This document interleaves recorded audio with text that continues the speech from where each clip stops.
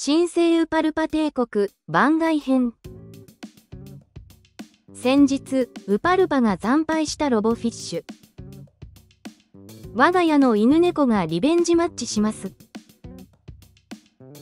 まずは猫のもんちゃん。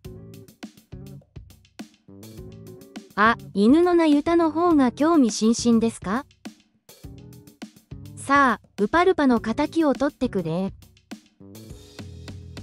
ロボフィッシュは軽快に泳いでます。あれ？誰も戦わない？もんちゃんは実はもうかなり高齢なので。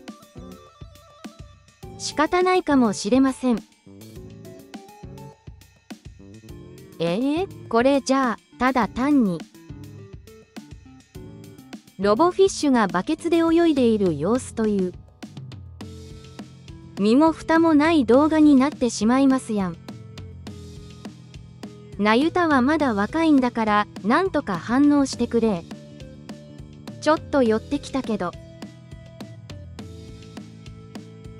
あ一番若いファボリが参戦してくれるかな。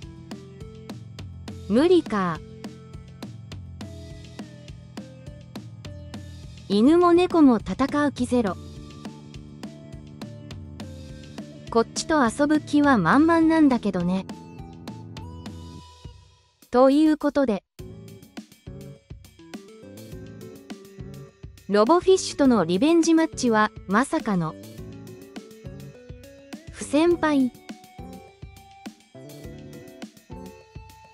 モンチャーンこっちの立場も考えてよ。